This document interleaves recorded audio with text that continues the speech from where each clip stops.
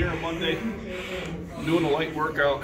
They, they don't believe I ever would do that, so this is my video proof that actually sometimes I do a light workout. Last week I did 450. I was still sore through here throughout the whole week, so I decided I better do something light and just some reps. So, hey, it's a combine.